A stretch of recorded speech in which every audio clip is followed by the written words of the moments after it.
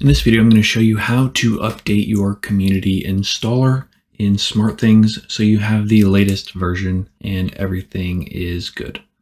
So you can see at the top here, it says you do not have the latest version and that will pop up every time until you install the latest version.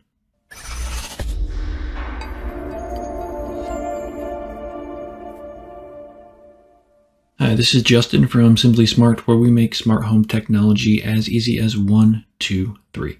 So if you're interested in smart home technology, consider subscribing for more content like this. Also check out the video description for the three simple steps to start to build your ultimate smart home. So to get this updated, what we need to do is go into My Smart Apps.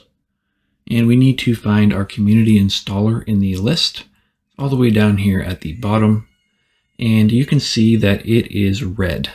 So you can see that something is wrong here and it says both the local and repository versions have been modified and are in conflict. So what we need to do is update that.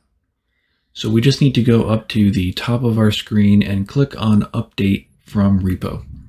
We need to find the ST community installer, click on that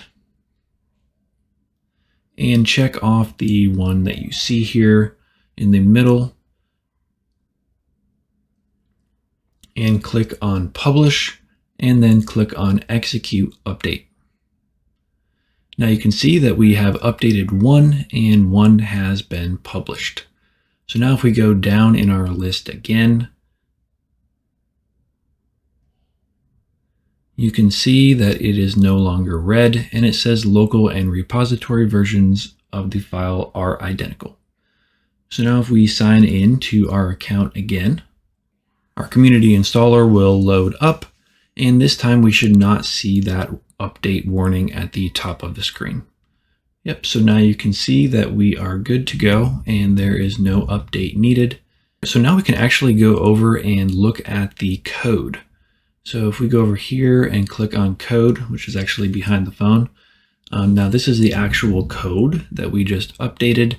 And right down here between these stars, you can see private release version, and it says release 1.1.0311a, and that is the most current version that was updated on 3.11.2020. So I hope you found that video helpful. As you can see, it's very easy to update a smart app when you have the GitHub integration set up.